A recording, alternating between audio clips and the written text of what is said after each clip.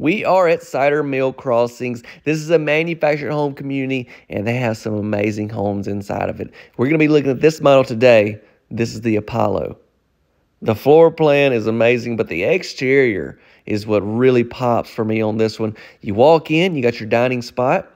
Here is your kitchen. Now, I toured several different homes here, and they're all on the page and also the channel. Full tours on the channel. Link in our bio for that. Check out, we got a flex area in this particular model.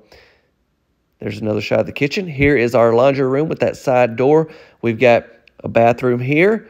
We've got our main bedroom positioned here. And I love how they have this laid out. Your bedroom, here's your closet, in between the bedroom and your bath. Y'all check out the full tour for all the information, pricing, all that. Links at our boats on the channel. Drop a comment and share. Let me know what you think about this amazing home.